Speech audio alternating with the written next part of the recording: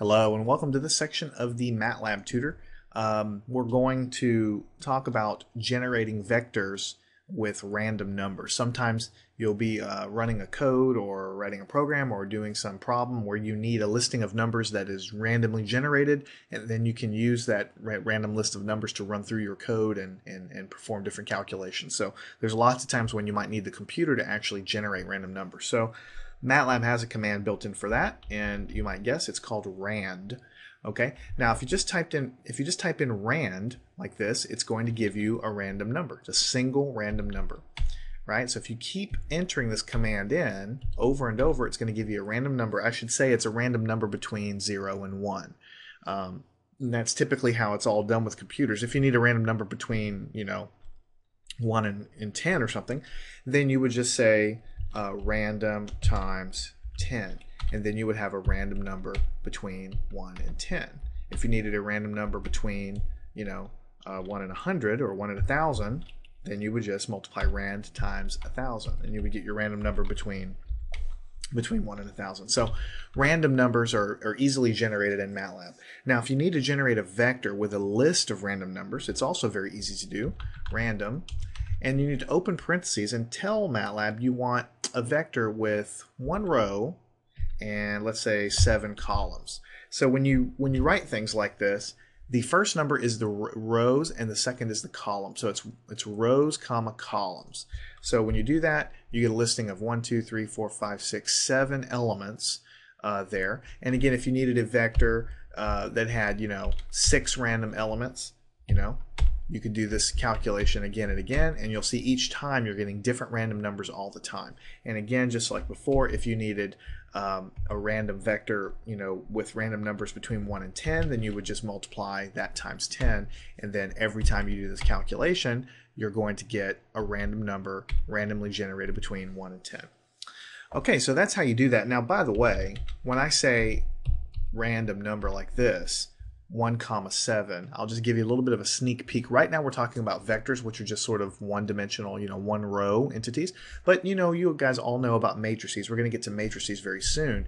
If in here you put something like 2 comma 7 or let's do 3 comma 7 this is the number of rows and this is the number of columns. So when you do that you'll get a matrix which will have basically three rows seven columns and they'll all be randomized so that's a very useful thing you might you might uh, typically need to do to generate and to to do that. So if you wanted to generate one instance of a uh, random guy just to use in subsequent calculations, then you could say random 1 comma 4. So I'm going to generate a vector with four elements randomly and I'm going to store it in a position vector. So then I can use the um, the uh, entity vector, I can use it in all subsequent calculations. It's randomized. That's fine. So there's there's there's cases when you might need to use that.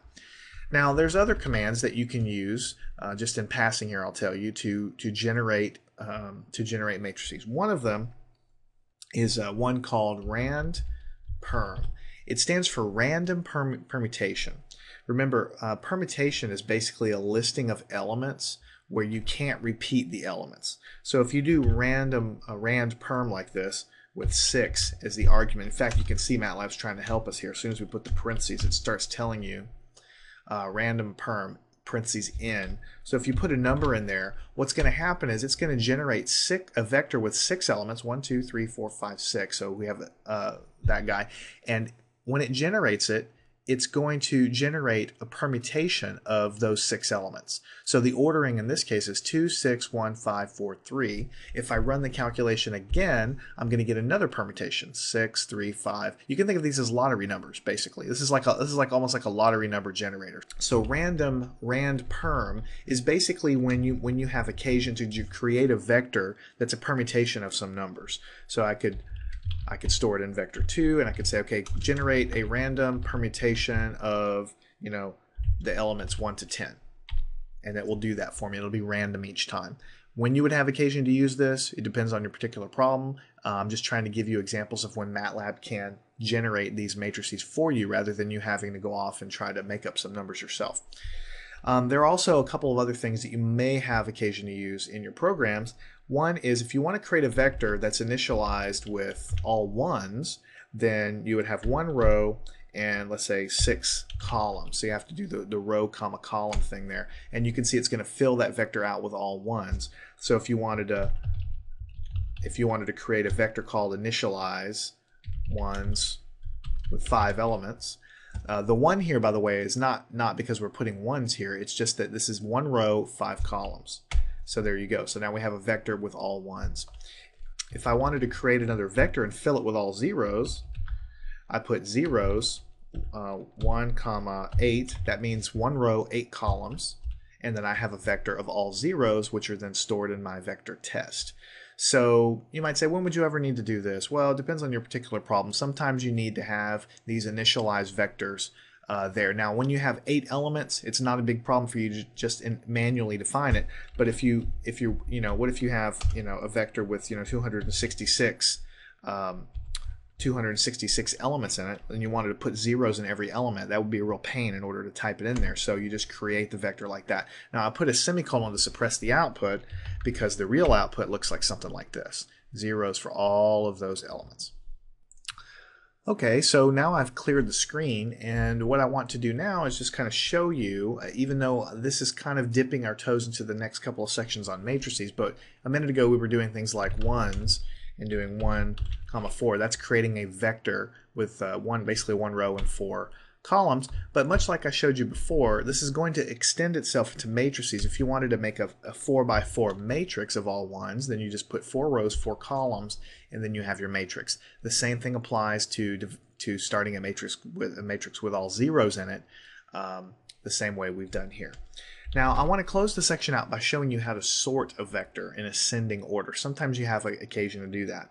So if I have a vector, let's just say uh, we'll call it vector r, and I have a bunch of different values. I can have negative 88, 0, 2, 5, 2.5, negative 4, something like that. So I have several values in here, right? And then for whatever reason, this is raw data that I've collected. Maybe I'd like to sort it in ascending order. So there's a function for that, sort r, and that's all you have to do. Hit enter. The uh, this does not store anything in back into the vector. It just takes the output and it sorts it in ascending order. So if you were doing one of those random permutations or something, I'll say uh, vector y equals random um, uh, random permutation uh, nine elements, let's say then what's going to happen here is I've generated a vector with nine elements with a random ordering of the elements because it's all it's all random permutation, right? Well, if I take sort and apply it to what I've just done here, then it should take the output and rearrange it 1, 2, 3, 4, 5, 6, 7, 8, 9. Those are these elements rearranged in ascending order. So this is useful when you have a lot of data you're pulling in from some file, and then maybe you want to sort it in ascending order for whatever reason so that you can look at it. Um, so then you could apply the sort function to that. I hope this section has been useful for you. Go off and uh, play around with it yourself. Make sure you can generate these vectors and let MATLAB do the heavy lifting for you when you need to generate a vector of random numbers or permutation of numbers or something of that nature.